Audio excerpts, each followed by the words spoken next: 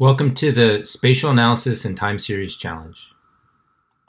Here is the NASA ESA JAXA Earth Observing Dashboard homepage. In this challenge, we're hoping you can improve our analysis tools for air quality data.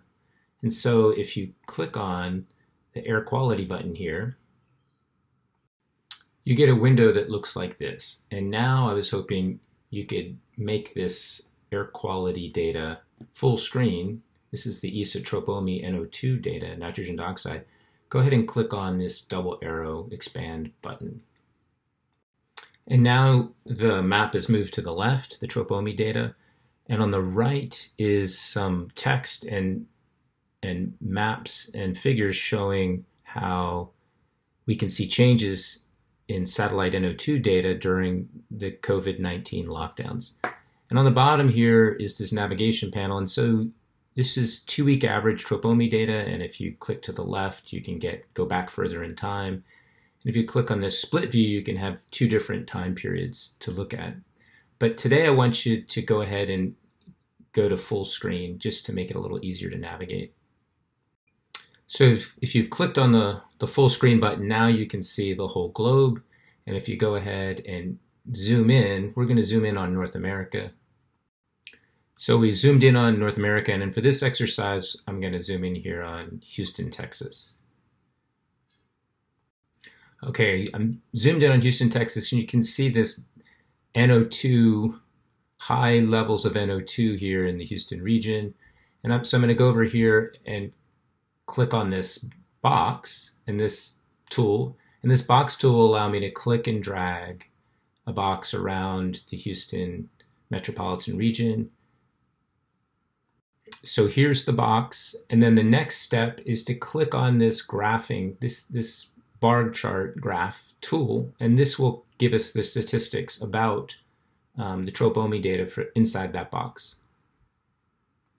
When you click on this uh, button, it'll say draw chart from sub area, and this uh, timer will be spinning. And in order to see your plot, you may have to exit out of full screen mode. This is the chart you'll see, and uh, these green dots are the average of uh, the two week average of all the points inside that box you drew. This magenta line is the maximum value within that box, and the green line is the minimum value within that box. And so for here in Houston, we can clearly see in the summertime when it's hot, there's lower levels of NO2. And then in the winter time, when it's a little bit cooler, you get higher levels of NO2.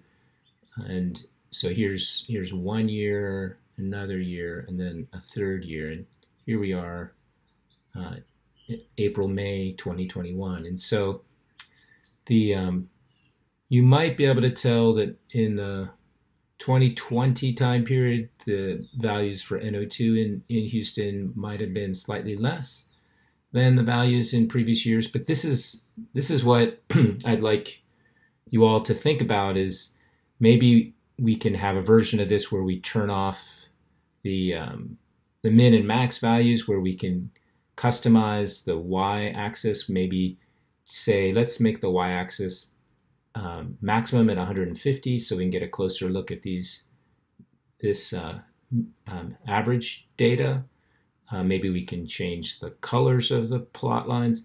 Maybe we could plot two different cities on the same graph or you know two different boxes that we draw. Uh, maybe we can plot two different variables. We also have a global data set for CO2. And so let me show you where that CO2 data can be found. All this data is in GeoTIFF format and uh, both the NO2 and the CO2 here we are back at the Earth Observing dashboard homepage. Instead of clicking on air quality, you can click on greenhouse gases. And now you can see over here, here's the CO2 data from the NASA Orbiting Carbon Observatory number two.